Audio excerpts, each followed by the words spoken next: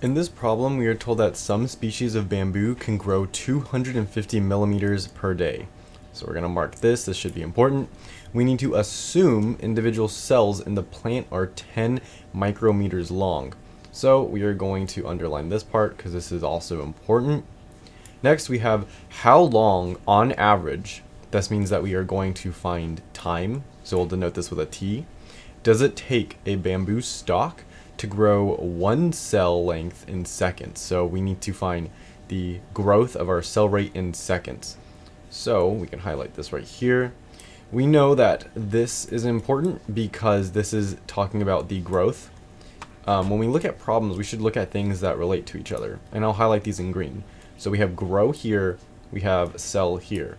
What we need to find is grow and cell. So we know that we have to use these two things. So to do this, we are going to get the individual um, cell length, the plant cell length, which is 10 micrometers. We can rewrite micrometers as 10 to the negative 6th because we know that 1 micrometer is equal to 10 to the negative 6th. And then if this is meters, this will be 10 to the negative 6th meters. So we're going to have this on top.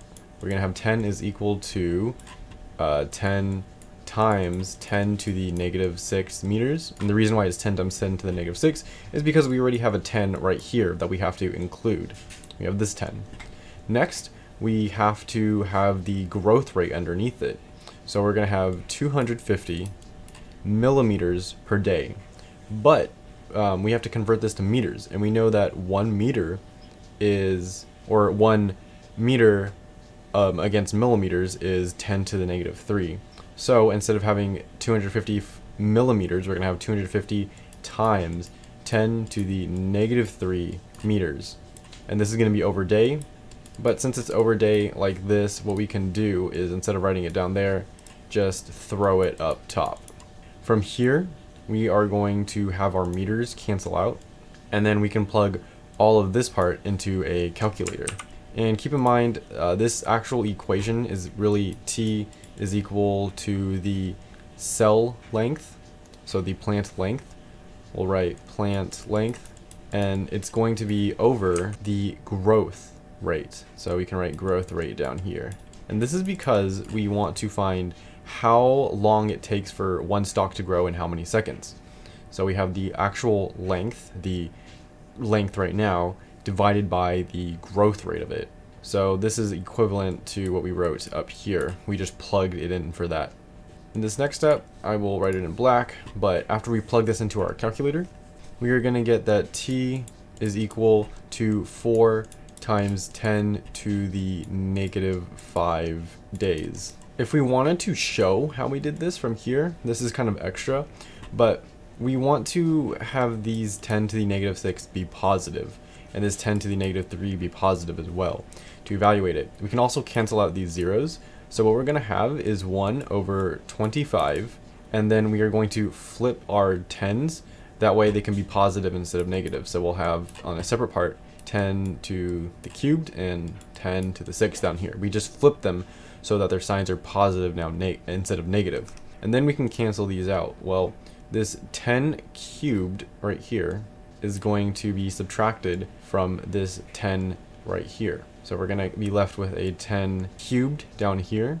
And to flip this up to have it be what we have right here, what we're going to do is write our 1 over 25, which if we divide this, we are going to get 0 0.04.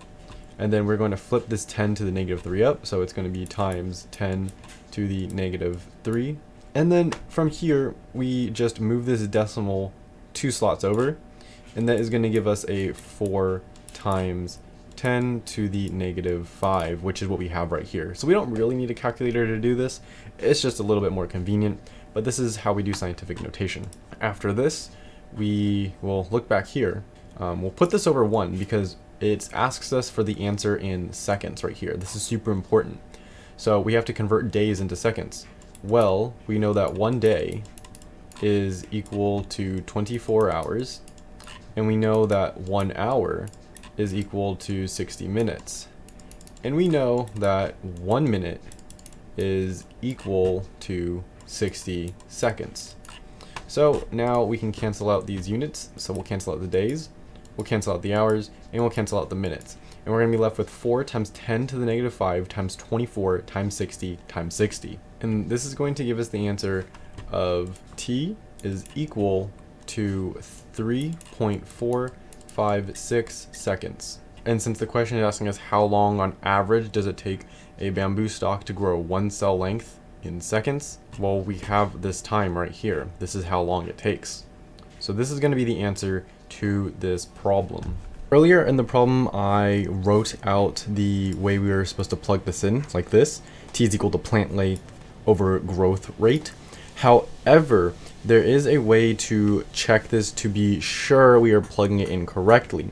And the way to do that is to make sure that our resulting unit, which was seconds, is where it's supposed to be, which is on top right here.